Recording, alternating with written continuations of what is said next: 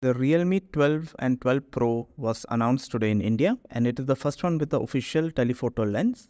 It's the first time you get a telephoto lens in the number series for Realme and it has a luxurious variant that is developed with Swiss watchmaker Olivier Savéo.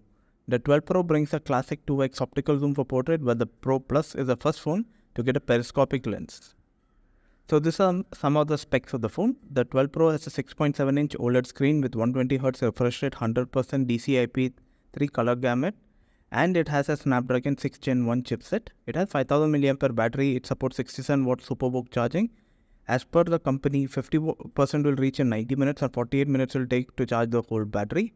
The 50 megapixel main camera features OIS and it's a IMX so, uh, Sony 882 sensor. The 2x telephoto camera is a 32 megapixel Sony IMX 709 sensor and there's a 8 megapixel ultra wide shooter with a 16 megapixel selfie shooter. It comes with Android 14 out of the box. Both variants have vegan leather back which is still made of plastic and the blue one suggests a connection with the famous brand Rolex though there is no such partnership. The colors official names are Submariner Blue and Navigator Beige. The 12 Pro comes in 8 GB, 128 GB starting at 26,000 Indian rupees or $310, while the 256 GB will be around $325 or 27,000 Indian rupees. The Plus variant gets the same screen with a peak brightness of 960 watts. It comes with Snapdragon 7S Gen 2 chipset and is coupled with 8 or 12 GB of RAM and 128 or 256 GB storage. The main camera is a 50 megapixel Sony IMX 890 sensor.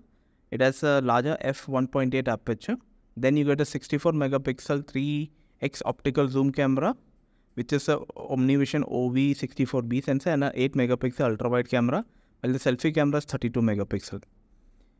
Uh, customers in India will get a special variant known as Explorer Red.